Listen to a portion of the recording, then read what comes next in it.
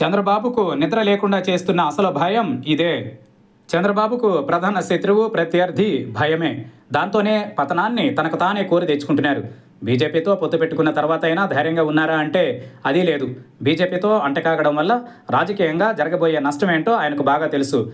రాజకీయంగా నష్టపోతామనే ఆలోచన ఆయన్ను భయపెడుతోంది. బీజేపీ విషయంలో ముందు నుయ్యి వెనుక గొయ్యి అనే సామెత చందంగా తయారైంది. ఇప్పుడు ఆయన భయమంతా బీజేపీతో పొత్తు వల్ల చేజేతుల అధికారాన్ని జగన్కు అప్పగిస్తామేమో అని. బీజేపీతో పొత్తు వల్ల రాజకీయంగా నష్టపోతామని చంద్రబాబుకు జోరేగల్లా చెప్పేవాళ్ళు ఎక్కువయ్యారు. అసలే భయస్థుడు. ఆపై నెగిటివ్ అంశాలు చెప్పేవాళ్ళు ఎక్కువయ్యారు. దీంతో చంద్రబాబు మనసు ప్రశాంతంగా లేదు. తన నివాసంలో ముస్లిం సంఘాలతో చంద్రబాబు నాయుడు సమావేశమయ్యారు. చంద్రబాబు మాట్లాడుతూ ముస్లిం మైనారిటీల అభివృద్ధికి ప్రత్యేకంగా డిక్లరేషన్ ప్రకటన చేస్తానన్నారు. రాష్ట్ర ప్రయోజనాల దృష్ట్యా బీజేపీతో కలిశామని ముస్లింలు దూరదృష్టితో ఆలోచించి అండగా నిలవాలని వేడుకున్నారు. గతంలో మతపరమైన అంశాలలో ఎక్కడా జోక్యం చేసుకోలేదని ఇప్పుడు ఎలాంటి రాజీ ఉండబోదని ఆయన అన్నారు.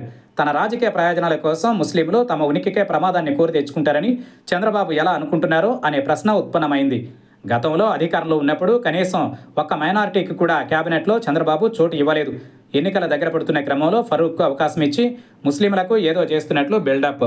ఒకవేళ కూటమి ప్రభుత్వం ఏర్పాటైతే తమ నాలుగు శాతం రిజర్వేషన్ పోతుందని ముస్లింలు ఆందోళన చెందుతున్నారు.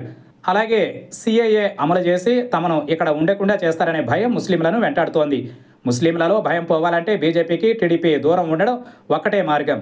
అలాగే గతంలో మోదీతో విభేదించే సందర్భంలో ముస్లింలకు పొంచి ఉన్న ప్రమాదం గురించి ఇదే చంద్రబాబు చేసిన హెచ్చరికలు ఇంకా వారికి గుర్తున్నాయి. ఇప్పుడు తన రాజకీయ అవసరాల కోసం ఎన్ని చెప్పినా నమ్మేదెవరు? తనకు నచ్చనప్పుడు దూషించడం అవసరమైనప్పుడు నెత్తికెత్తుకోవడం ఊసర వెళ్ళిలా చంద్రబాబు మారుతూ ఉండొచ్చు. కానీ ముస్లింలు బీజేపీ అలాగే ఆ పార్టీకి అంటకాగే పార్టీ విషయంలో అభిప్రాయాన్ని మార్చుకోమంటే ఎలా? అభిప్రాయాలు మారవని తెలుసు కాబట్టే చంద్రబాబు భయపడుతున్నారు.